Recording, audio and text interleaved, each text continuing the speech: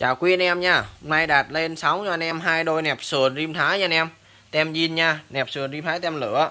Đó hình thức thì ờ, như trong hình. Đấy Chứ còn khen chê thì cũng tùy anh em thôi Tại đồ theo xe mà anh em. Này thì ờ, nó tùy theo cái, cái cái cái mắt nhìn của anh em thôi. Người thì thấy đẹp Người thì thấy không đẹp. Đạt thì đạt thấy nó đẹp Đạt quay cho anh em coi.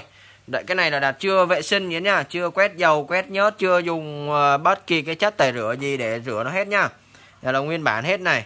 Tất cả hàng zin hết nha anh em nha. Đây hàng zin hết. Mã mộc đát điếc cho anh em đầy đủ nha. Con này là đời à, uh, 99 nha anh em. Để coi con này cũng đời bao nhiêu. Con này là đời à, uh, 99 con này đời 99 luôn. Hai cặp nẹp là đời 99 hết nha. Thì nẹp sườn rim thái tem zin nha. Anh em nào mà chơi tem lửa mà chưa có nẹp sườn hoặc là nẹp sườn bị hư á thì anh em có thể mua bộ này về thay thế cho nha giá là để cho anh em giá của nó là 600 ngàn một cặp nha anh em ơi. Đấy, thì báo thẳng cho anh em như vậy nha. Nẹp sườn tem lửa này anh em kiếm nó không có nha. Giá thị trường hiện nay nó rất là cao luôn. Người ta bán mấy cặp nẹp này còn tem zin như vậy đa số người ta bán toàn giá tiền triệu mà. Đạt thì đạt bán giá siêu rẻ cho anh em luôn. 600 ngàn cặp anh em nào lấy liên hệ mình thôi.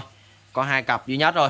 Đó, đúng tem zin nha. Đúng tem zin nha. Cái này về vệ sinh là sạch sẽ đẹp đẽ hết nha. Đạt thì đạt lười quá. Co xào bán vậy cho anh em luôn. Đó còn này là đúng tem zin chưa qua trà rửa hay là làm bất kỳ cái gì hết. Nó có sao vậy thôi sau nó bụi bặm dính đầy đây nè. Đó còn uh, các cái ờ, lỗ ốc này kia là còn đẹp hết cho anh em này. Đấy lỗ ốc là còn đẹp hết này không có bị ờ, hư hại hết nha. Đấy đây này lỗ còn nguyên này.